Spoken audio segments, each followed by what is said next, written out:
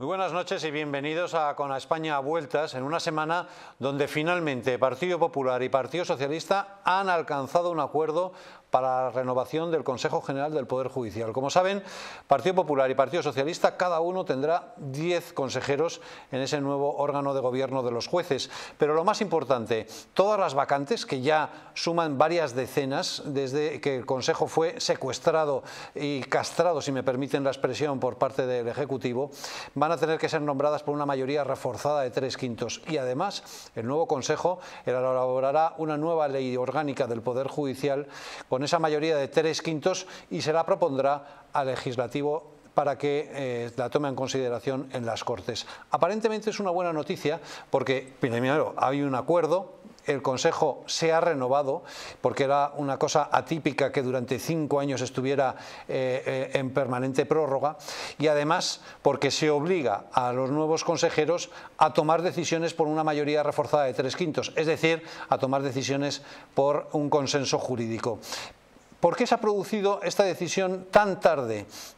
¿Para qué es tanto viaje para estas alforjas? Esa es la pregunta que se hacen muchos. La respuesta desde el Partido Popular es que eh, ha sido Bruselas quien ha retorcido el brazo del Partido Socialista y le ha dicho o se aprueba esto o va a haber un informe absolutamente demoledor.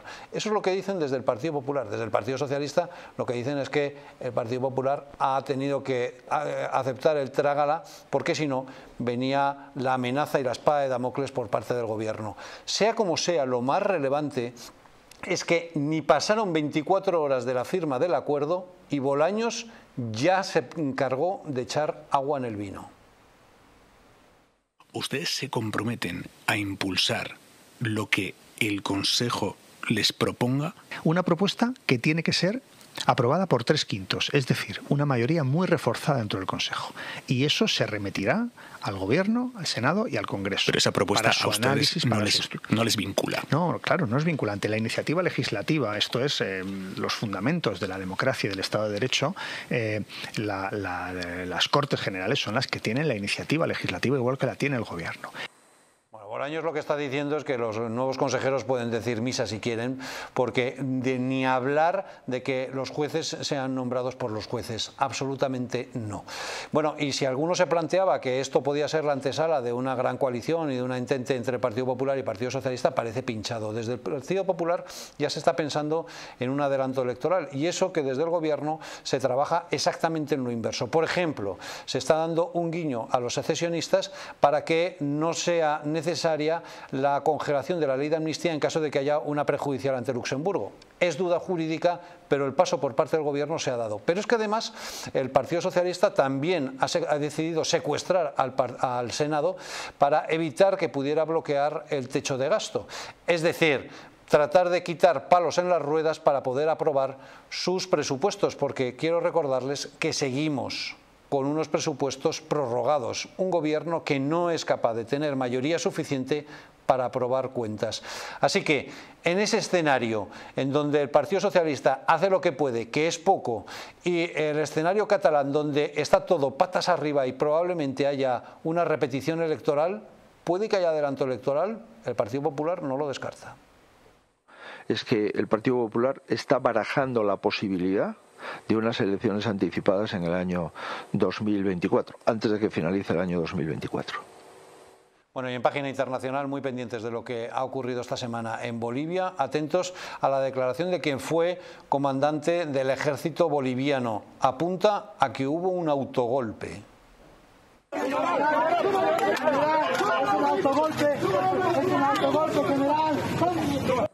y todavía colea también el debate en Estados Unidos entre Trump y Biden, en donde Biden pues no es que mostrara su mejor cara y Trump se lo afeó así.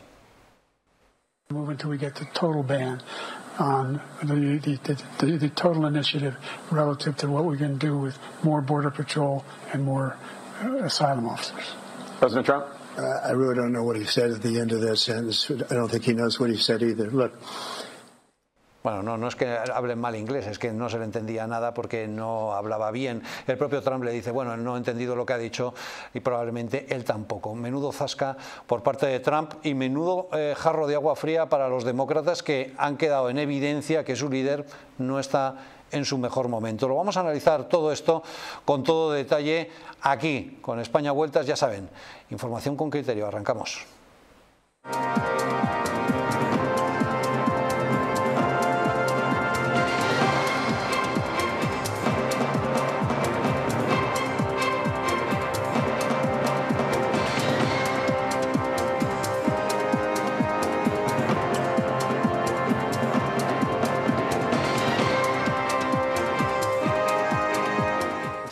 Pues muy pendientes de lo que ha ocurrido esta semana en Bolivia, donde, como saben, ha habido un golpe de Estado o un autogolpe de Estado. Enseguida lo vamos a analizar, pero las imágenes son muy impactantes porque el que fuera comisario del ejército, eh, el comandante en jefe del ejército, hablaba así de eh, la defensa, supuestamente defensa de la democracia frente a un gobierno totalitario. Vamos a verlo. Nosotros queremos establecer la democracia. Basta de que unos cuantos se han adueñado. Miren dónde nos han llevado. Nuestros niños no tienen futuro. El pueblo no tiene futuro. Y el ejército no le falta cojones para velar por el mañana de nuestros niños, por el futuro de nuestros niños. Bueno, pues eso es lo que decía Zúñiga eh, eh, frente a ese supuesto totalitarismo. El pueblo está en una situación difícil y el ejército sale en su rescate. Pero pocos minutos después viene a sugerir que lo que ha habido es un autogolpe de Estado y que el presidente se ha inventado eh, la llegada de los tanques para mejorar su popularidad. El día domingo, en el colegio La Salle, me reuní con el presidente. El presidente me dijo, la situación está muy jodida, esta semana va a ser crítica, esta semana. Entonces es necesario preparar algo para levantar mi popularidad. Sacamos los blindados, saca. Entonces el lunes, el domingo, en la noche, ya los blindados empiezan a bajar. Seis cascabeles y seis Urtus, más 14 Z de las, del regimiento de al aire ¿Ya? tiempo.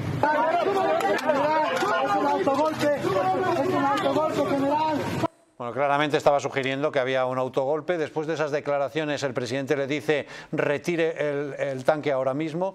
Zúñiga se niega, está usted negándose, no, no lo voy a hacer y obviamente es detenido. Vamos a ver las imágenes en las que eh, fue detenido el responsable del ejército, ahí lo están viendo, donde el ejército eh, decide intervenir y finalmente Zúñiga es eh, detenido. Bueno, pues eso es lo que ha ocurrido en unos eh, movimientos, mm, la verdad es bastante extraños y dificilísimos de entender, así que vamos a tratar de explicarlos y aclararlos porque eh, lo que ha ocurrido realmente ha sido muy sorprendente. Tanques en la calle, tanques atacando al edificio de presidencia de gobierno, el presidente del gobierno diciendo al responsable del ejército, le doy la orden de que retire el ejército y el ejército y el responsable del ejército negarse y, eh, en fin, todo lo que acaban ustedes de ver. Bueno, tenemos con nosotros a Soranib, eh, Hernández, experta internacional, especialmente en Venezuela, pero también eh, en toda Hispanoamérica. Soranib, gracias por acompañarnos. Muchísimas gracias, Luis, por tu invitación. ¿Cuál es su interpretación de lo que ha ocurrido en Bolivia? Bueno, eh, conforme a lo que ha señalado el experto independiente de la ONU en la promoción eh, del orden internacional democrático y equitativo, eh, siempre de la responsabilidad de, los mecanismos convencionales de, la ONU, es que no se puede permitir violaciones flagrantes de derechos civiles, políticos y sobre todo derechos humanos, y dice que no que en el pasado en Bolivia se habían producido este tipo de de, situaciones. Parecería que es uno de los países de Latinoamérica que más intentos está, de, golpes de Estado ha tenido y bueno, evidentemente también eh, el secretario general de la OEA a través de la interpretación de la Carta Interamericana señala de que no se deben reconocer gobiernos que surjan de, este tipo de, intentos. Porque esta semana además se celebraba la 54 Asamblea General de la OEA en Asunción, en Paraguay, eh, donde hubo declaración institucional en, condenando el golpe de Estado. ¿no? Correcto. Sí, tanto la, eh, coincide las declaraciones de la experta independiente de la ONU, como ya lo comenté, como también el secretario general de la ONU, de la, de la OEA, señalando que no se pueden permitir ni reconocer eh, que se viole el Estado de Derecho, que se violente el orden democrático, por lo cual ha sido unánime la, la condena. ¿Usted cree que ha sido un golpe de Estado o un autogolpe, como sugiere Zúñiga?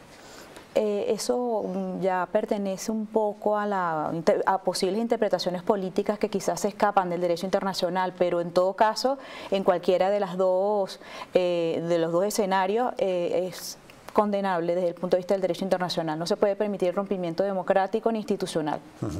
Bueno, también ha habido condena, por supuesto, por parte del gobierno español, por parte de todos los gobiernos europeos. Así que, bueno, de momento el asunto está pacificado. Más interesante está el asunto de Venezuela, porque hay elecciones el mes que viene y... Eh, el ambiente empieza a parecer que ahora sí va a ganar la oposición.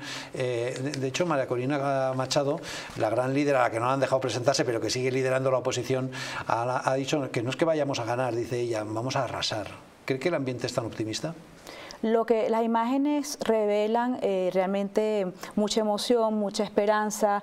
Eh, la gente, hemos visto, ¿no? de todos los estratos sociales están allí eh, viendo una esperanza, retomar la, paz, la libertad, la, posibilidad ¿no? de, acceder a todos los bienes, servicios y sobre todo un proceso de reconciliación nacional. Son las imágenes y es la interpretación que hacemos. Mm. lo que sí sigue siendo preocupante es que se estén produciendo eh, esta, esta serie de, violaciones a los derechos civiles eh, y políticos cuando, por ejemplo, se inhabilitan a, personas para que no participen en los procesos, cuando se detienen de manera forzada y se hacen desapariciones forzadas o mm, se mantienen de manera arbitraria personas privadas de la libertad porque pertenecen a, a, ciertos partidos políticos. Entonces, bueno, desde el punto de vista del derecho internacional y lo que dice el Pacto Internacional de Derechos Civiles y Políticos es que debe haber una participación equitativa, todos tienen derecho a participar y es lo que eh, por los momentos nos está preocupando. Y supongo que dice también que tiene que haber unas, unas elecciones transparentes, libres, etcétera, ¿no?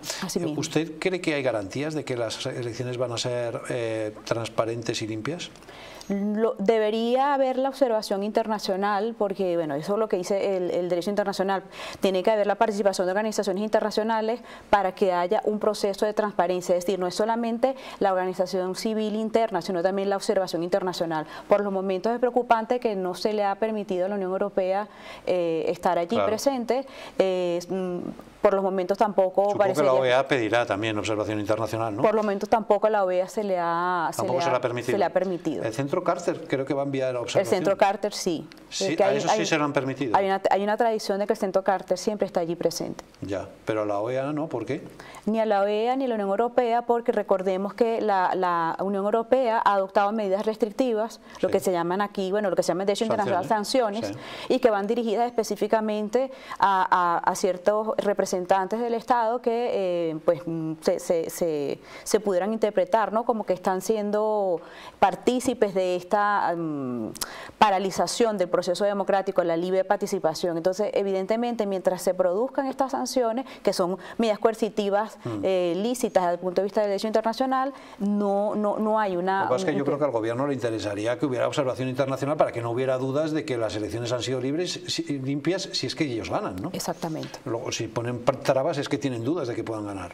Sí, bueno, es que la, la, situación interna en Venezuela es de muchísima polarización y lo que se está buscando internamente es que haya de una participación de la organización civil eh, que estén allí vigilando el voto y, buscando de que haya alguna especie de transparencia al final del proceso.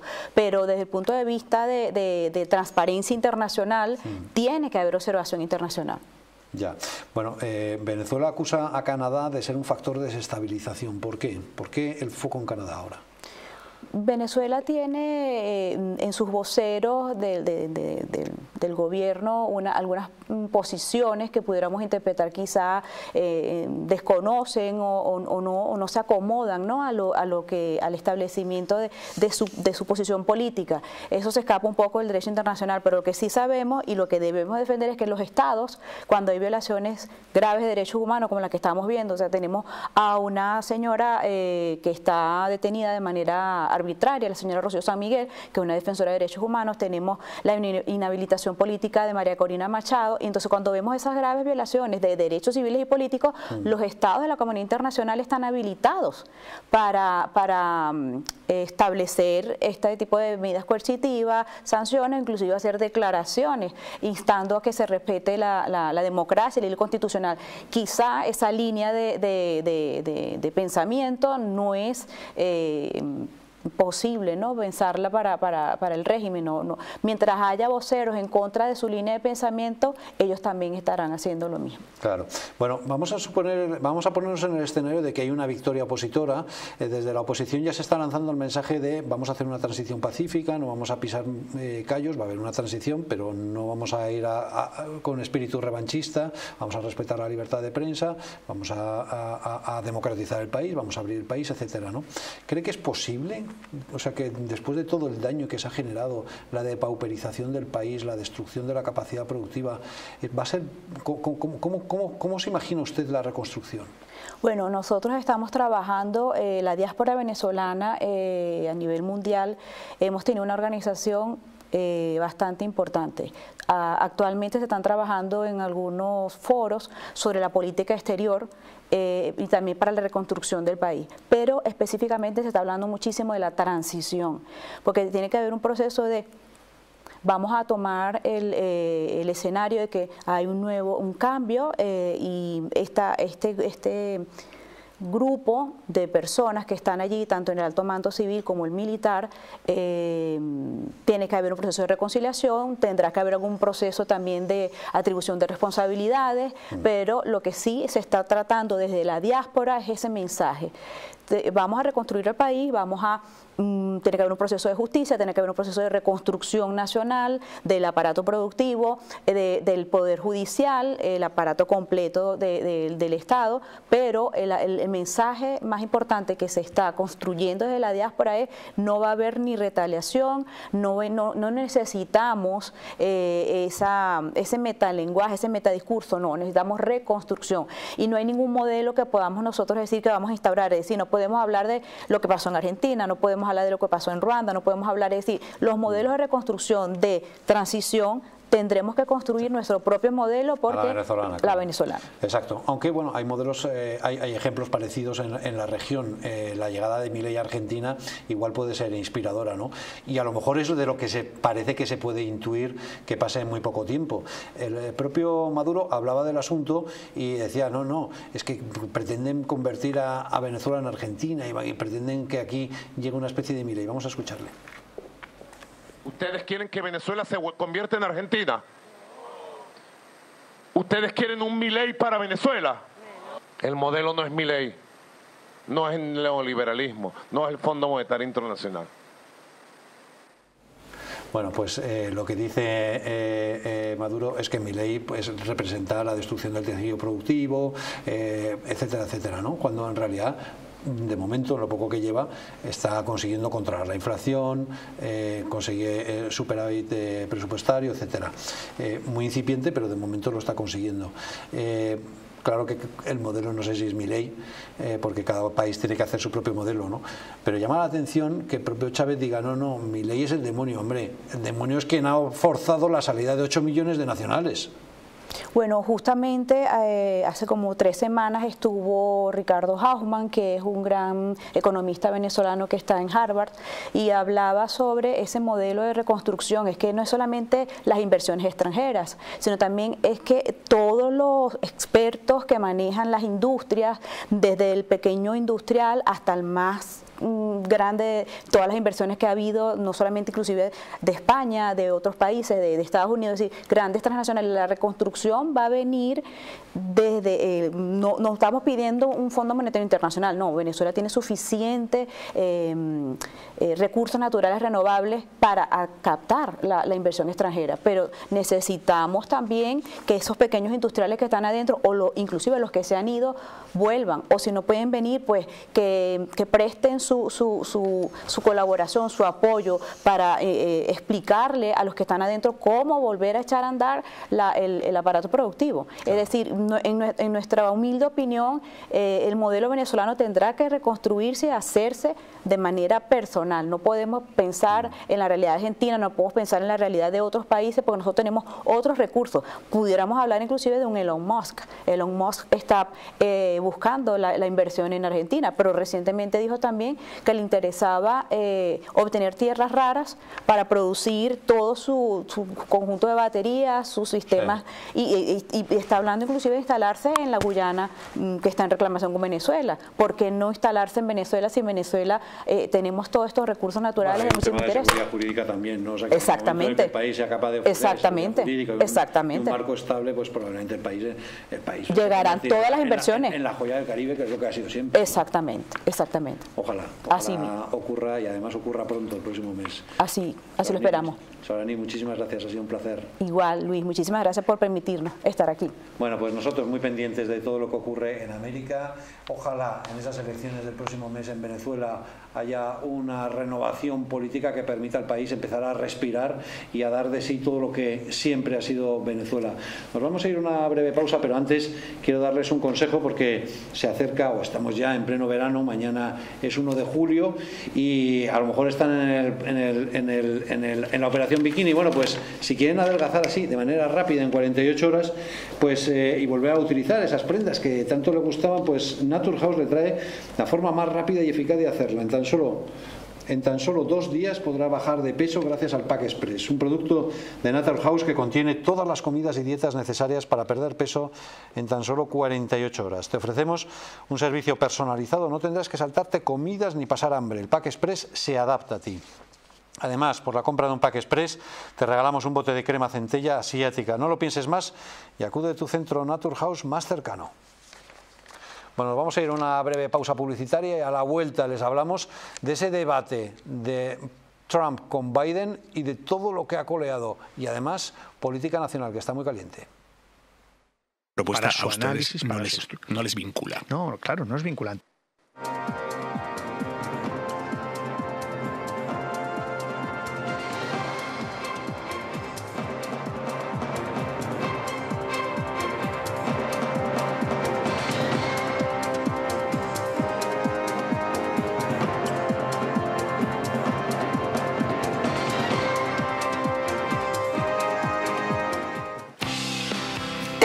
Perder esos kilitos de más? ¿Volver a utilizar aquellas prendas que tanto te gustaban? Naturhaus te trae la forma más rápida y eficaz de hacerlo. En tan solo dos días podrás bajar de peso gracias al Pack Express, un producto de Naturhaus que contiene todas las comidas y dietas necesarias para perder peso en tan solo 48 horas. Te ofrecemos un servicio personalizado, no tendrás que saltarte comidas ni pasar hambre. El Pack Express se adapta a ti. No lo pienses más y acude a tu centro Naturhaus más cercano. El cuidado de la flora intestinal es esencial para el bienestar digestivo, el metabolismo y el sistema inmunitario. La combinación de prebióticos y probióticos de Symbioline Megaflora con dos mezclas estandarizadas de LA5 y BB12 aporta más de 35 billones de microorganismos vivos. Y la vitamina B6 contribuye al metabolismo energético normal. Symbioline Megaflora, de Mundo Natural.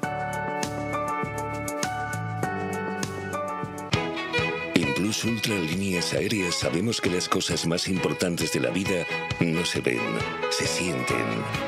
Son esos lazos que nos atan fuerte a nuestra gente, a nuestros sueños, aunque estemos a miles de kilómetros. No importa de dónde vengas o a dónde vayas. En Plus Ultra seguiremos volando contigo para que nunca te falte lo más importante, los lazos que nos unen. Plus Ultra Líneas Aéreas, lazos que nos unen.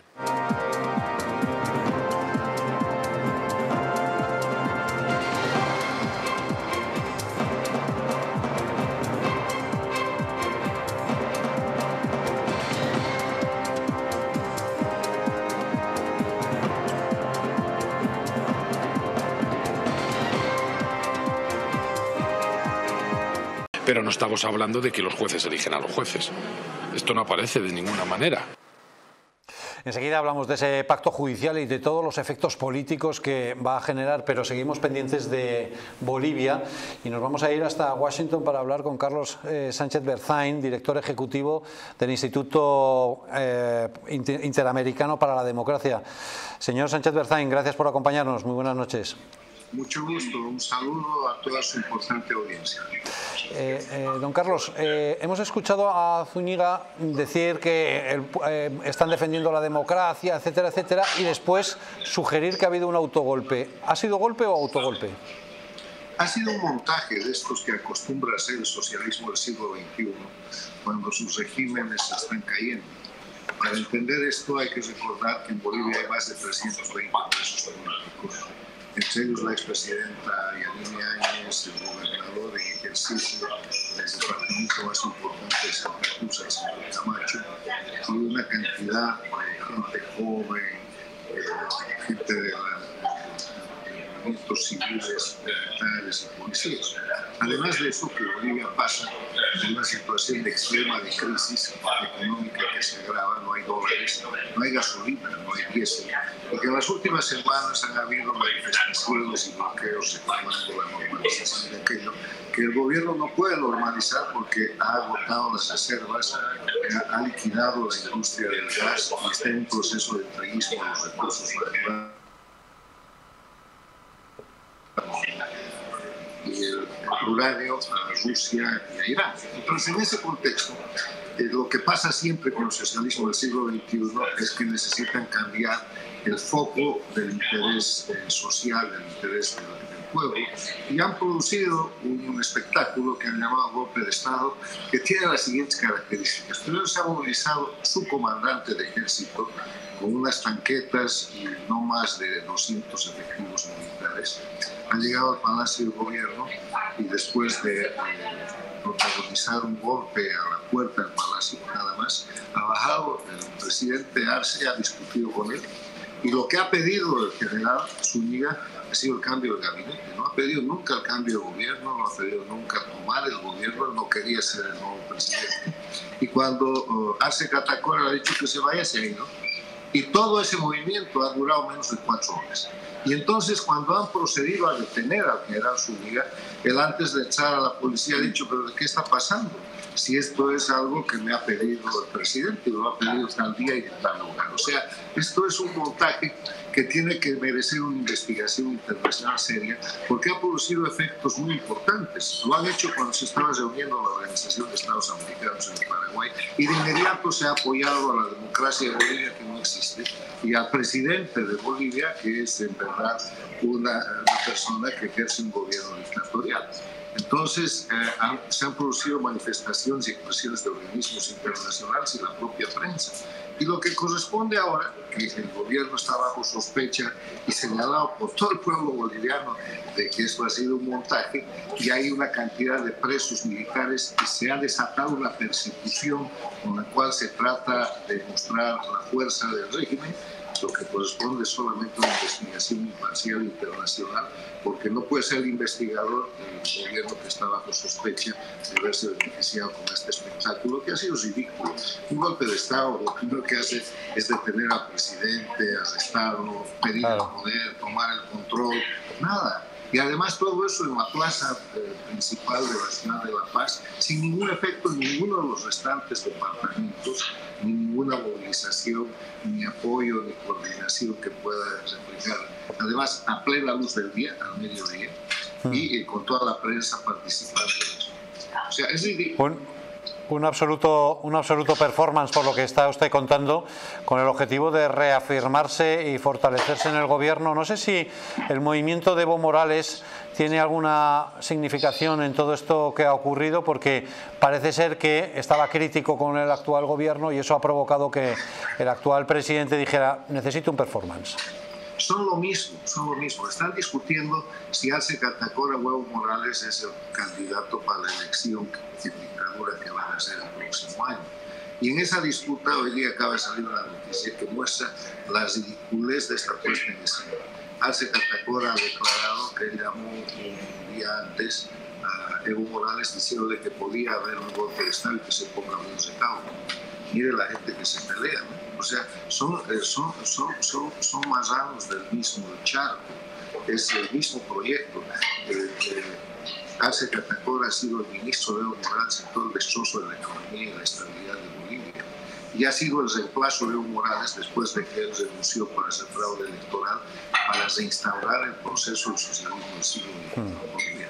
O sea, todo lo que hacen está destinado simplemente a mistificar, a falsificar escenarios, como sucede en Cuba, como sucede en Venezuela y en Nicaragua. Le doy un dato más. Si ustedes revisan los datos de las encuestas sobre el, el reconocimiento a los presidentes de América Latina, mayo 24, Sid Galup, que es muy creíble, le da a Arce Catacora el 18% de respaldo. Es el tercer peor presidente de la región.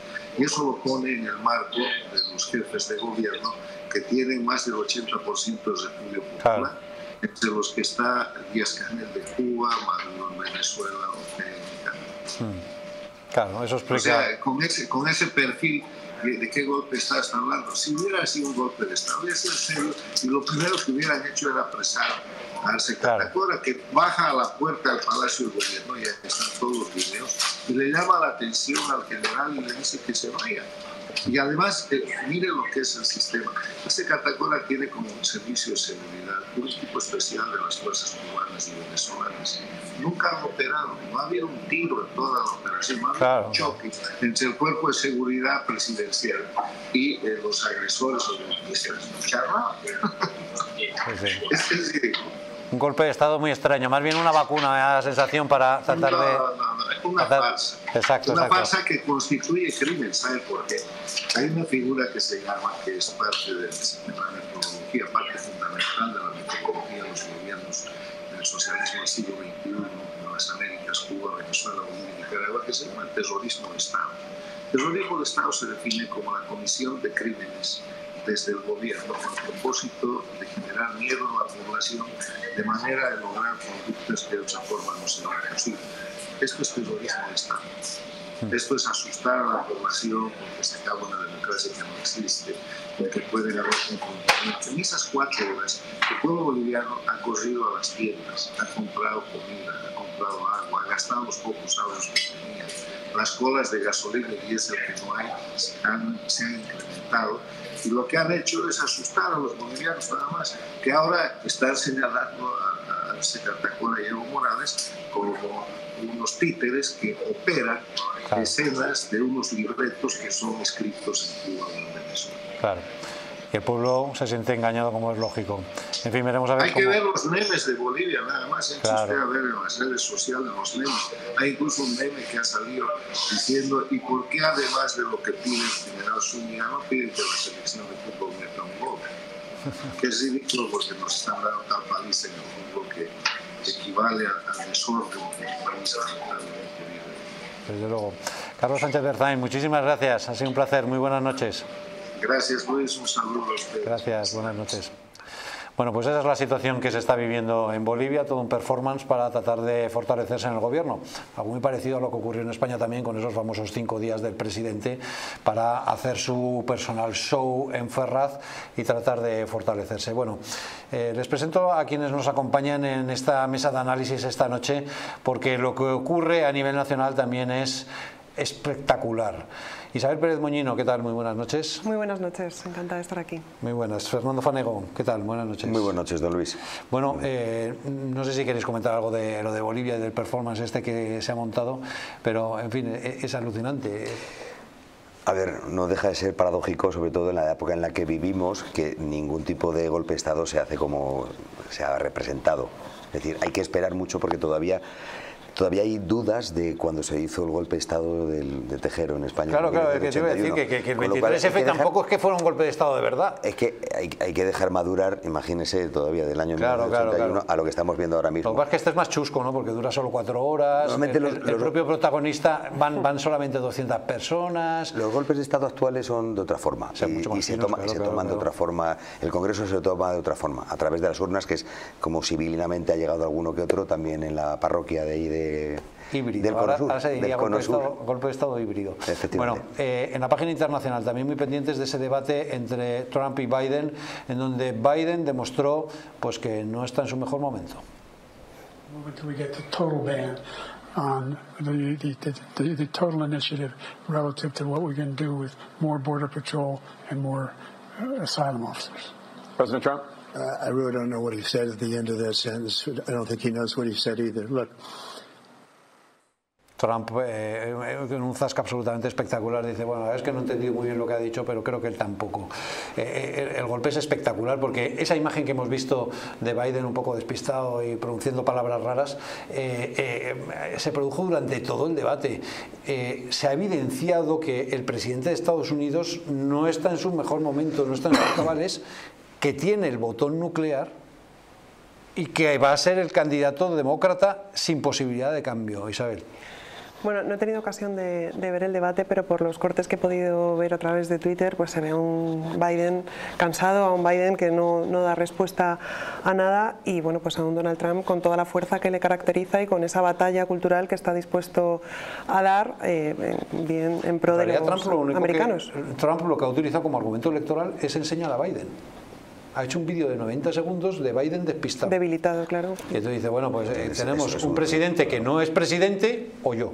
Uh -huh. En lo, entre los dos suman más que la, que la Torre Eiffel, que, que se gustó, es decir, que entre los dos presidentes, es decir, sobre todo que, que está en manos, como tú bien has dicho, del, de, del, de, no solo del botón rojo de los misiles, sino de la economía del, de medio mundo, es decir, porque claro, claro. Que, que, dependen muchos factores, sobre todo que estos señores se viven bien y sobre todo que cedan, o puedan ceder el paso de una forma mmm, pues que de, económicamente no afecte al resto del mundo, es decir, que, que curiosamente todavía Estados Unidos, pese a que, existe una gran crisis, sobre todo a nivel mundial, y sobre todo que lo acusa a Estados Unidos, pero que no repercuta al resto de la comunidad internacional. Bueno, CNN confirma que pasó las preguntas previamente a Biden, es decir, que iba con cierta ventaja. A pesar de eso, pues... Eh, se mostró como se mostró y eh, los demócratas que dicen que no va a haber cambio en su candidato, que el candidato es el que es. Eso garantiza, Isabel, me imagino, la victoria o afianza la victoria de Trump porque antes del debate estaban bastante empatados, pero yo creo que ahora ya no hay duda, ¿no?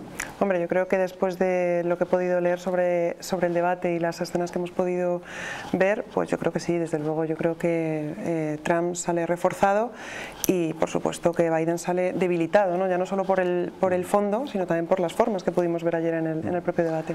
Bueno, vayamos a política nacional. El tema fundamental de esta semana ha sido el pacto judicial. Después de cinco años y pico de no llegar a un acuerdo, finalmente Partido Popular y Partido Socialista, eso sí, en presencia de la Comisión Europea, llegan a un acuerdo para el reparto de cromos en el Consejo General del Poder Judicial, con el compromiso de que las vacantes se nombrarán con tres quintos, es decir, mayoría reforzada, y que además redactará el nuevo Consejo una nueva ley orgánica del Poder Judicial con esa mayoría de tres quintos. ¿Por qué se ha tardado tanto? ¿Cuál ha sido la clave que ha desencallado el asunto? Feijó lo explicaba así. Señor Sánchez, ya le he dicho que lo que hemos firmado ayer, yo lo hubiese firmado hace dos años. ¿Qué es lo que ha cambiado? Lo que ha cambiado es que las instituciones europeas le han obligado a firmar, señor Sánchez. Eso es lo que dice Feijóo, y es que eh, las instituciones europeas tenían preparado un informe absolutamente demoledor donde iban a matar políticamente a Sánchez y Sánchez se ha venido a aceptar el acuerdo. ¿Te lo crees, Isabel? Bueno, yo creo que esto es un, es un fraude, es un fraude y es un engaño a, todos los, a todos los españoles. Tenemos que recordar que el Partido Popular ha estado diciéndole al Partido Socialista que tenía como dique de contención para renovar ese Consejo General del Poder Judicial precisamente modificar la ley orgánica del Poder Judicial. Esto lo han estado repitiendo desde el Partido Popular.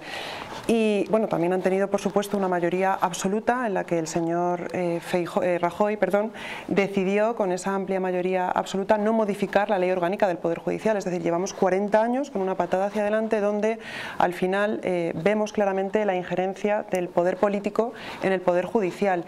Y, lo que nos han mostrado y esta mmm, batalla, este teatrillo ficticio que están haciendo y este engaño que se está haciendo desde muchos medios de comunicación intentando legitimar el pacto que ha suscrito el Partido Popular, a mí desde luego me parece un engaño porque, como digo, el Partido Popular eh, siempre vendió que tenía como línea roja eh, el- la, la modificación de la ley orgánica del Poder Judicial Bueno, pero y no lo ha hecho.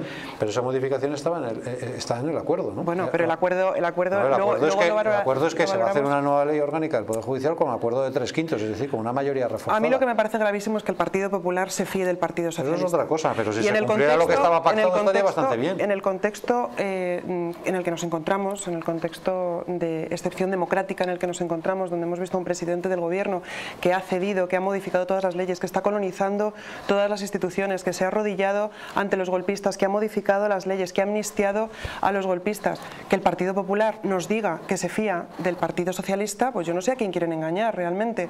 Entonces, eh, yo creo que tenemos que ser claros con los españoles. Este acuerdo no vincula de ninguna forma la despolitización de la justicia. Esto es una patada hacia adelante. Al final, en, en la proposición de ley que van a aprobar hay una disposición adicional donde eh, se dice que por mayoría de tres quintos, una mayoría reforzada en el Consejo General del Poder Judicial, que han elegido el Partido Popular y el Partido Socialista, recordemos que 10 vocales son progresistas y 10 vocales son conservadores, con lo cual tres quintos de ellos tienen que aprobar, tienen el plazo de seis meses para hacer una propuesta al Congreso que en su caso se aprobará por parte de, de- Pero del el hecho de que tres Diputados. quintos de esos jueces nombrados, 10 por PP y 10 por PSOE, es decir, progresistas y conservadores, que tres quintos elaboren la nueva ley, ¿te parece mal?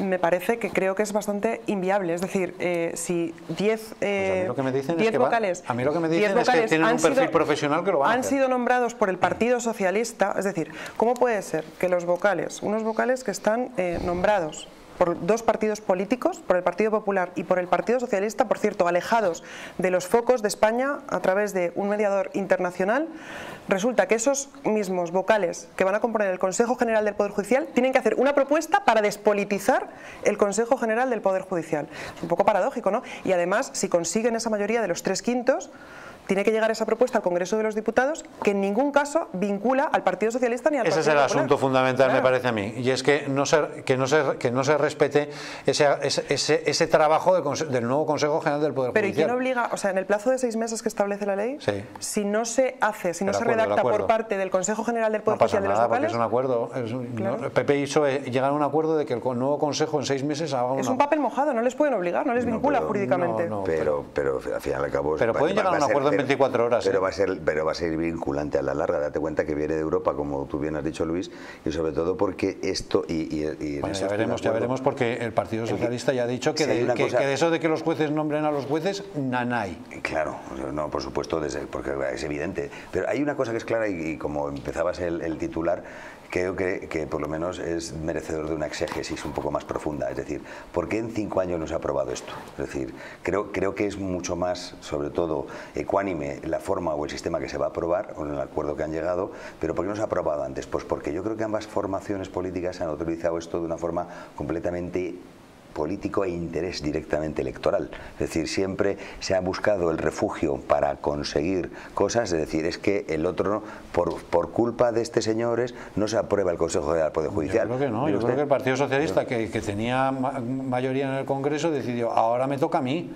Y, y- y entonces, y entonces quería tomar al asalto el Poder Judicial. Le recuerdo que y, el con po- mayor- y entonces, ¿qué hizo el Partido Popular? Atrincherarse. Don Luis. ¿Qué- ¿Cuál fue la respuesta del Partido Socialista? Retorcerle el brazo y decirle, bueno, pues ahora te castro y no puedes hacer nombramientos. Pues entonces, hasta ahora. Eh, Le recuerdo, don Luis, que con mayoría absoluta del señor Rajoy no se hizo. Que sí, que sí. No, no, Que sí, que sí, que es verdad. pues- pues- pues entonces, entonces hay algo que a mí me ¿Que hay una voluntad, hay una algo que a mí voluntad me de respetar la independencia del Poder Judicial? No. Ninguna. Claro, Claro Pero de, no. ninguno, de ninguno de los dos De partidos. nadie, claro, ¿verdad? Y claro, sobre todo, pero a mí lo que me parece también una estafa a todos los españoles es que mientras el Partido Popular eh, llamaba a los españoles a la calle y utilizó las imágenes de esos españoles, esa sociedad civil, ya no hablo de partidos políticos, yo estuve en muchas de esas manifestaciones contra la amnistía, contra el golpe de Estado de Pedro Sánchez, resulta que el Partido Popular, mientras llamaba a la gente la calle, estaba pactando el- en los vocales del Consejo General del Poder Judicial, que hoy se ha sabido que se, pactó en marzo. Bueno, eso dicen, eso dicen. Eso habría que verlo. Yo no me lo creo. Eso habría- eso yo Esa- tampoco. esa información Bueno, no la creo. justo después de, De las, todas formas, después de las yo elecciones, después de las elecciones... Sí, sí, que lo tuvieron que esperar para que no afectara a las elecciones, Yo yo no me creo, yo, la creo, verdad. yo creo, don Luis, y, y yo creo, y no sé si convendréis conmigo, yo creo que hay que esperar unos días porque en unos días yo creo que vamos a tener... No, no, ya tenemos bastante Hay- información. Ya hay tenemos cosas- bastante información. Hay cosas- hay cosas- ha dicho así el pacto. lo, único que está claro es que esa es la información repartido. Que han pactado algo que a mí me parece que era bastante positivo y es que, oye, vamos a hacer un acuerdo de tres quintos, es decir, nos forzamos a hacer un consenso, nombramos a tíos profesionales y les obligamos a hacer un consenso para que presenten una propuesta y nosotros nos acogemos a lo que digan los, eh, eh, esos tres quintas partes. ¿Pero por qué no Eso habría estado fenomenal, creo ¿Por qué yo. no ¿Pero qué ha hecho el Partido Socialista? No, no, oye, que ellos que digan lo que quieran, que yo haré lo que me parezca. Claro. Pues ¿Y el PP, se, el PP se ha fiado o ha sido Pero-? Sí, sí. Claro. Ah, Pero- ¿Tú qué crees? No lo sé. Hombre, está clarísimo, se han sentado en la misma mesa y Claro. además... Llevan y han- 40 años escucha, Hombre, yo, yo les he visto No, bastante, ya, incómodos, yo les he bueno. visto bastante enfadados. ¿eh? Sí, no, no, sí, sí, están bastante enfadados, pero yo vuelvo a insistir y creo que no me habéis escuchado bien o no me he explicado bien, mejor dicho. Es decir, creo que en unos días vamos a tener noticias. ¿Pero eso qué quiere decir? Pues yo creo que va a haber noticias. Que van, digo, de futuro. Digo, noticias que vienen de Moncloa, vamos. Que va a haber elecciones. Sí. ¿Tú crees? No, I- I- en inglés I think so. Pero vamos, te lo digo en español, creo totalmente que creo que sí, que es una jugada. Y esta es parte de esa jugada.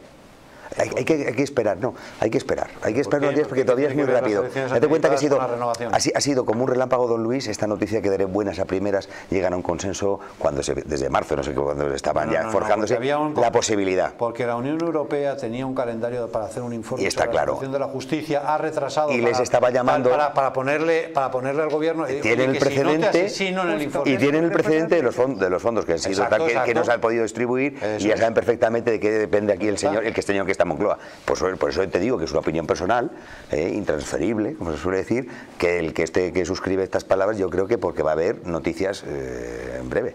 Bueno, eh, luego hablamos sobre el, el- el posible adelanto electoral, pero quiero que veamos eh, cómo el Partido Socialista se desmarca de su propio acuerdo.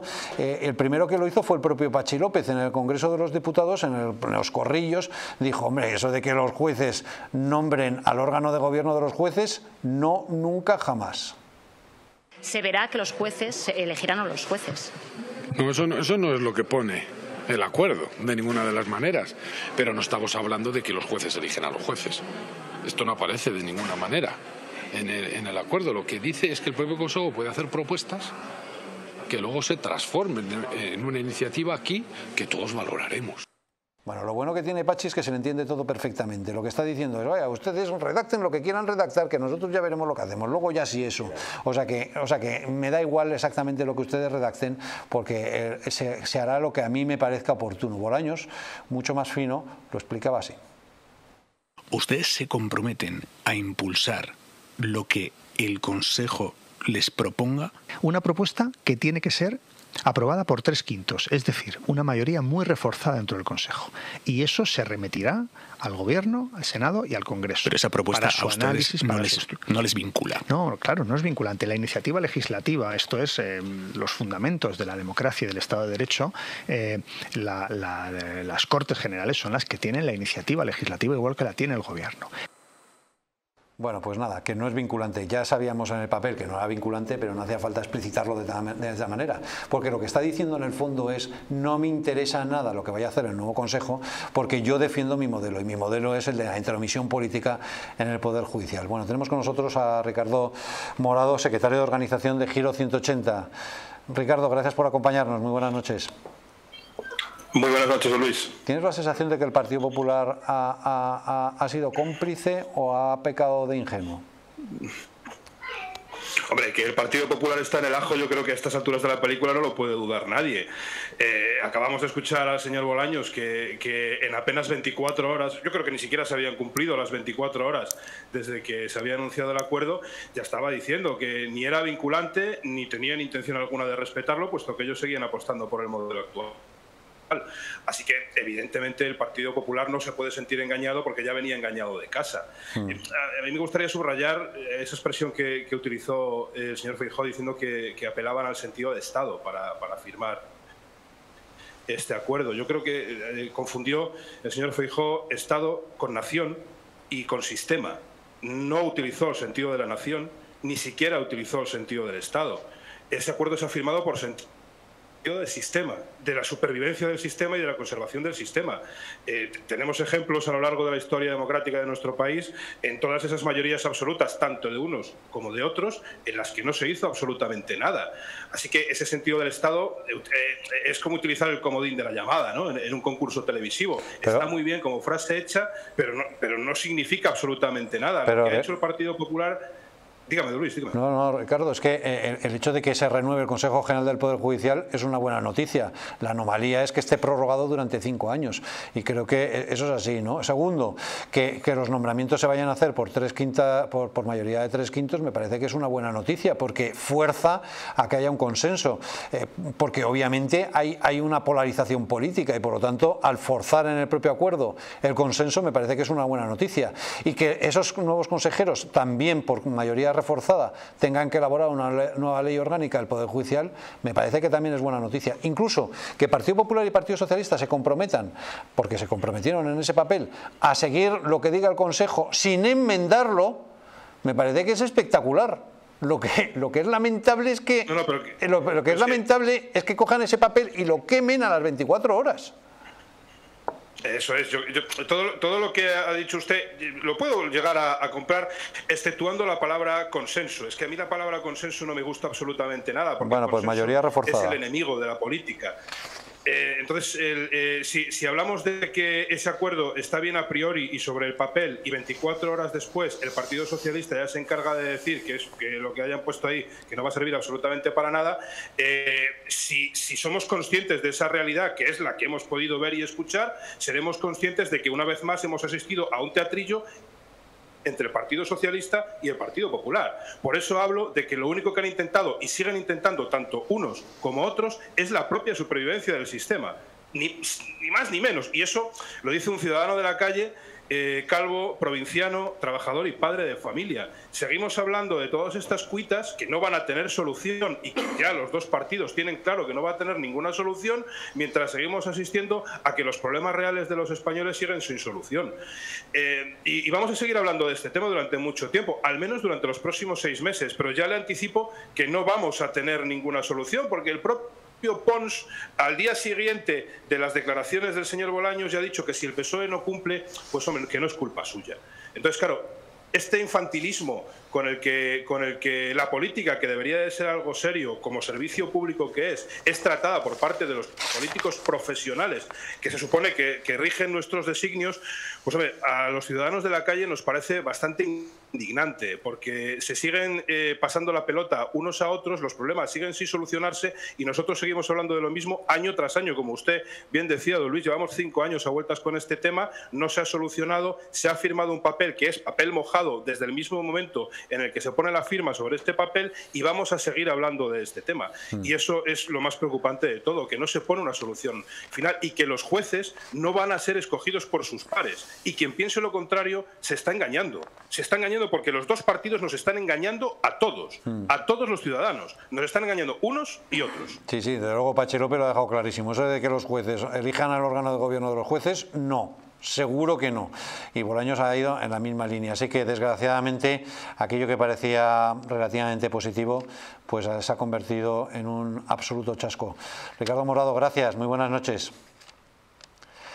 Muchísimas gracias, buenas. Gracias. Bueno, eh, otros de los que están molestos son otras asociaciones judiciales, porque entre los que se han nombrado son todos de la Asociación Profesional de la Magistratura o de Jueces y Juezas para la Democracia, pero de Francisco de Vitoria y de otras organizaciones judiciales, nada de nada. Así que tampoco es que haya habido un super consenso. Bueno, vamos a ir a una breve pausa y a la vuelta les vamos a hablar del ataque del gobierno a la prensa. Es un ataque doble, con el palo y la zanahoria, querella y subvención. Enseguida se lo contamos. Antes, una recomendación, porque no si saben que el principal riesgo de tener alto el colesterol son las enfermedades cardiovasculares. Hay ciertos factores que aumentan el riesgo de padecerlas. Algunos no son modificables, como nuestra edad o los antecedentes familiares, pero en otros, en los que sí que podemos actuar si mantenemos una dieta y un estilo de vida saludable y realizamos ejercicio físico con regularidad. Divecol Forte de Mundo Natural es un complemento alimenticio que incorpora, eh, eh, que incorpora coecina Q10, el extracto de cardo mariano, así como la levadura de arroz rojo y también citoesteroles y vegetales concentrados que contribuyen a mantener niveles normales de colesterol sanguíneo. Divecol Forte, de Mundo Natural, de venta en farmacias, en parafarmacias, tiendas especializadas y en el 91 446 0000 o en parafarmaciamundonatural.es. Bueno, pues ahora sí, nos vamos a esa breve pausa publicitaria y a la vuelta el ataque del gobierno a la prensa. Es que el Partido Popular está barajando la posibilidad de unas elecciones anticipadas en el año 2024, antes de que finalice el año 2024.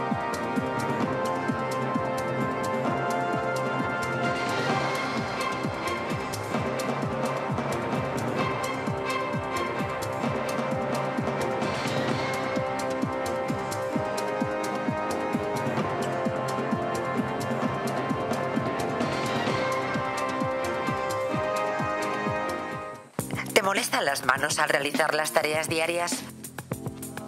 Frente al dolor, utiliza los guantes de Relax Quantum Nanotech. Innovación revolucionaria en la lucha contra el dolor y la rigidez.